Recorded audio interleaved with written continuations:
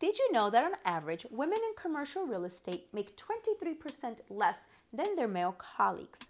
As we move up to the executive level, the gap actually increases to 30%.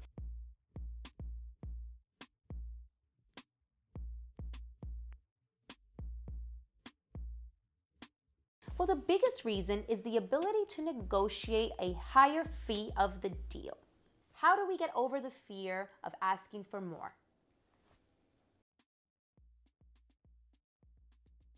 Number one, have an ironclad fee agreement that you negotiate up front. Number two, create a network that knows your worth and will not undermine you. Number three, always bring value to the transaction and make sure that the parties involved know the value that you bring.